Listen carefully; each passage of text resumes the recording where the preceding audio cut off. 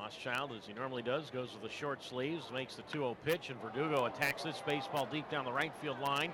And that's going to land one hop over that four foot fence for a ground rule double. Well, Verdugo, that's his second double tonight.